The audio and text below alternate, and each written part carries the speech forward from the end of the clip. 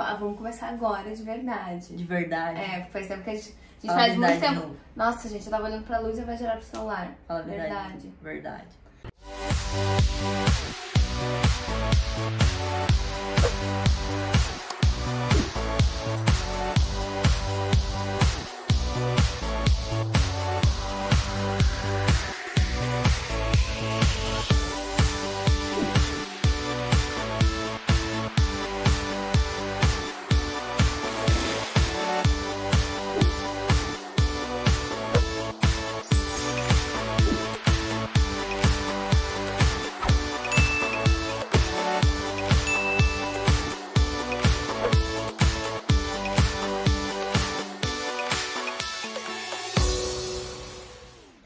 Gente, vamos começar agora mais um vídeo no canal. E que são os vídeos aleatórios de terça-feira, que não tem nome, né? E não tem nome. Não É tem tipo nome. Vídeo de terça-feira. Vídeos de terça-feira aleatórios e que estamos gravando. Não é vlog, não Eu é sou de vídeo. pijama. Faz muito tempo que a gente não grava esses vídeos. Desde dezembro, Essa blusa não é do Lucas. a gente comprou igual. E hoje a gente vai gravar pra vocês vídeos respondendo perguntas de quem? Da Não nossa, são vocês! da nossa família. Eu Tá tô com medo? Eu tô com um pouquinho de medo que minha família perguntou, porque minha família é meio louca. Gente, a minha família, minha mãe saiu, manda... eu falei, gente, mandem perguntas. A minha mãe saiu disparando perguntas, ela não deixou ninguém perguntar, só Minha ela prima mandou. mandou a pergunta assim: Você gosta de mim? Que não sei o quê. Carência, Gabriel, primota. É. Vamos, Vamos começar lá, agora. amiga. Primeiro áudio pra você, Nath. Você comia feijão, só os grãozinhos, quando era pequena? Mãe, não, eu espero que não, acho que não. Pô, como é que minha mãe fez uma pergunta de quando eu era criança? A Nathalie só come caldinho. Eu só como ou de caldo ou feijão batido. Inclusive, a gente pediu comida hoje e eu pedi só o caldo do feijão. Então eu não como grão, eu era não gosto da criança- textura. Quando eu era criança, eu só comia caldo. Aí depois eu Será que aprendi. eu só comia grão, Aí, então? minha, aí minha mãe falou que era, o grão era importante, que era o que dava ferro no feijão. Eu passei a comer por causa disso. Mãe, eu não sei se eu comer só o grão, mas eu espero que não, porque senão eu tô indo contra o meu paladar. Eu não gosto da textura Não, eu macia espero que do sim, feijão. porque agora você vai querer comer o feijão, né? Grão. Eu tô Nunca. acostumado desde criança a comer grão. É. Agora tem que comer. De costume. Bom, é isso. Vamos lá, próxima pergunta pra você, Prio. Qual é o seu maior sonho? Minha tia! Opa. A mãe do Primota! Gente, eu mandei no grupo da minha família, eu, meu pai, minha mãe e meus irmãos. Só minha mãe mandou pergunta porque ela foi disparada. Meu maior sonho é trazer uma situação financeira boa pra minha mãe, sabe? Da minha mãe poder viajar, curtir a vida dela, ter uma casinha pra ela de praia, que é o maior sonho dela. Então, assim, meu sonho é que minha mãe pudesse ter uma empresinha pra ela, sabe? Não ter que trabalhar de acordo com, com o cronograma que existe, sim, ela fazer o dela e ela poder passear bastante com meu irmão e curtir a vida dela. Então, meu maior sonho é dar conforto à minha Vai família. conseguir. Vai. Amém. Quando foi a primeira vez que você foi à praia? Ai, gente, a minha mãe tá de muita sacanagem. Gente, olha o que, ela tá mandando. Gente, provavelmente com seis meses eu já nadava, porque eu fazia natação e eu nadava super bem. Eu era uma ótima nadadora com apenas seis meses de idade. Uma sereia. Então, provavelmente eu já tinha ido à praia. E eu lembro que os meus pais falavam que eu não gostava da areia da praia. Eu- eles tinham que me levar no colo até a piscininha A e eu comida. voltava. Chegou a, chegou a comida? A top salatina não bateu sinal, senão só Ai, vai sim. Grandma, it's for me! Então, eu lembro que os meus pais contavam que eu não gostava da areia da praia. Então, eles, quando a gente chegava ali na. A gente ia na Praia da Barra, porque é mais perto. Aí eles me levavam até o- a piscininha ou a toalhinha.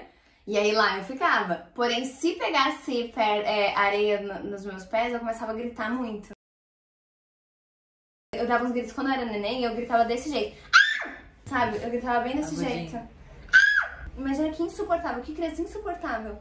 Qual foi a pessoa que mais te incentivou para você seguir a sua carreira? Ai, que Eu quero responder esses fofa! Cara, então, a pessoa que mais me incentivou mesmo foi, em questão de família, foi minha tia Rosângela e minha prima. Eu lembro que ele- elas ficavam assim, vai pegar seu DRT, vai estudar, vai ser o quê. Então eram as pessoas que mais ficavam ali pegando no meu pé pra me formar e virar atriz. Mas a pessoa que mais me deu suporte pra estar onde eu tô, sem dúvidas, foi a minha mãe. Porque, tipo, a minha mãe mesmo achando aquela, aquela, aquele lugar de mãe, né? De preocupação, de tipo, você precisa arranjar um emprego, é, um medo de, de você ser atriz não dar certo, de você passar fome. Então a minha mãe tinha muito esse medo de eu passar fome e não conseguir me sustentar. Acho que é o medo que todo, Gente, qualquer mãe é tem. real, tá? E a gente passou fome, mas a gente tá aqui. É. A gente tá assim, hoje a gente tá colhendo tá tudo bem. que, graças a Deus. A pessoa que me deu suporte e que me incentivou e que depois que viu que eu realmente amava e não tinha como fazer outra coisa, foi a minha mãe. Mas hoje toda a minha família, cara, meus tios, essa que falou agora, e o marido dela, eles faziam a lojinha do Chess Channel, eles sempre em gravação eles incentivavam. Então, assim, graças a Deus eu tive um incentivo muito grande da minha família.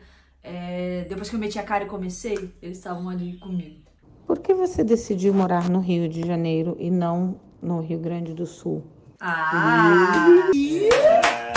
Finalmente, a gente agora tá começando a ter perguntas mais da nossa idade, mais de adulto. Legal. Porque, é, pra ser atriz, eu sempre acreditei que o maior polo artístico se concentrava é, no Rio de Janeiro e São Paulo. E realmente, pra- eu sugiro que quem quer realmente seguir a carreira de ator ou atriz e quer trabalhar tanto com teatro quanto com cinema, com, é, com televisão, os dois grandes polos artísticos, assim, que você realmente consegue ganhar dinheiro é, é Rio de Janeiro e São Paulo. Porque nos outros lugares tem muita coisa, só que é uma demanda muito menor.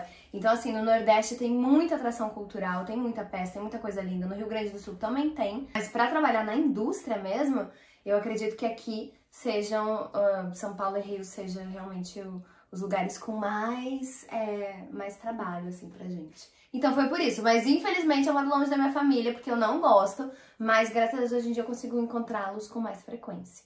Antigamente eu ia uma vez por ano, eu tinha que levantar a mão pro céu e agradecer que eu conseguia uma vez por ano. Ah, agora ela consegue Agora eu vou mais. daqui a alguns dias, eu já estou lá com eles. Qual foi o dia mais feliz da sua vida? Mãe! Mas o dia mais feliz da minha vida, sem dúvidas, foi quando meu irmão nasceu. Foi um dia mais emocionante. Eu lembro que eu tava na fila pra. Era São Cosme e Damião, né? Então eu tava na fila pra pegar doce. E aí meu pai falando: Vamos, Pri, seu irmão vai nascer. Eu falei: Calma aí, pai, só quero pegar um docinho. eu tava na fila, eu era uma das próximas. Ele: Não, não tem como, tem que ser agora. E meu irmão nasceu de noite, demorou pra caramba. Mas foi um dos dias mais felizes da minha vida. Foi um- uma benção de Deus, assim. A gente tava muito preocupado porque o do meu irmão não foi planejado, aconteceu. Mas graças a Deus deu todo o suporte pra gente poder ter essa família. Qual foi o seu primeiro bichinho de estimação? Acho que ela vai falar Um bem. beijo. Eu também.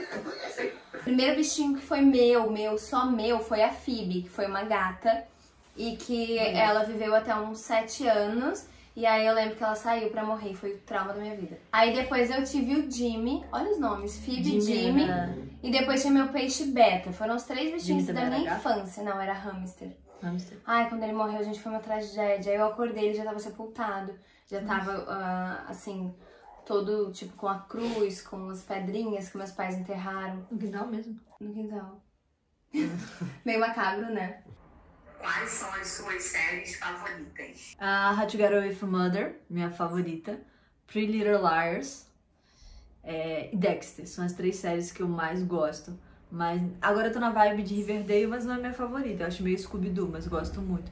Mas se for pra indicar, How to Get Away from Mother. Quais são as suas lembranças de quando você morou em Florianópolis? Ai, acabei de falar de Floripa. Eu morei em Florianópolis dos 7 aos 8. Foi bem rápido. Só que foi um período um pouco traumático, porque o meu pai trabalhava no Rio Grande do Sul, minha mãe trabalhava em Florianópolis e eu estudava em Florianópolis e meu irmão também. Eu amava morar em Florianópolis, porque era tipo o sonho da minha vida morar num lugar com praia.